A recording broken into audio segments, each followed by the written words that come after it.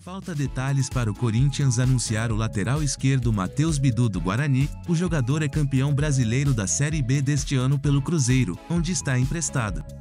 Fala nação corintiana, sejam bem-vindos ao canal, fiquem com mais uma notícia em primeira mão, para continuar trazendo notícias para vocês deixa seu like, se inscreva no canal e ative o sininho, para ser notificado pelo YouTube assim que o vídeo for postado, desde já muito obrigado, bora pro vídeo.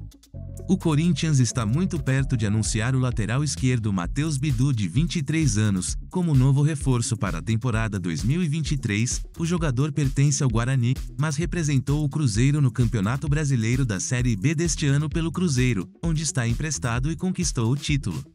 Só faltam alguns detalhes: o Guarani detém 60% dos direitos financeiros do jogador e o contrato vai até o final de 2023, os outros 40% pertencem à Magnum, sócia do clube.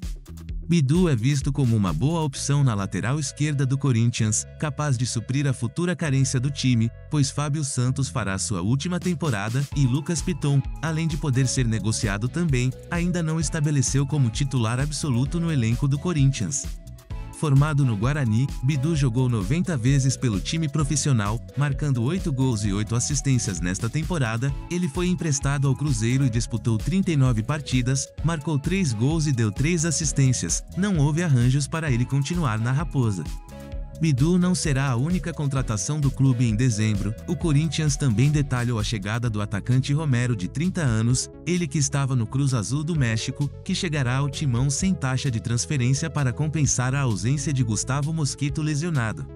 Se você gostou do vídeo compartilhe, inscreva-se no canal, ative o sininho para não perder nenhum vídeo, deixe o seu comentário, ele é muito importante para o canal, e até o próximo vídeo.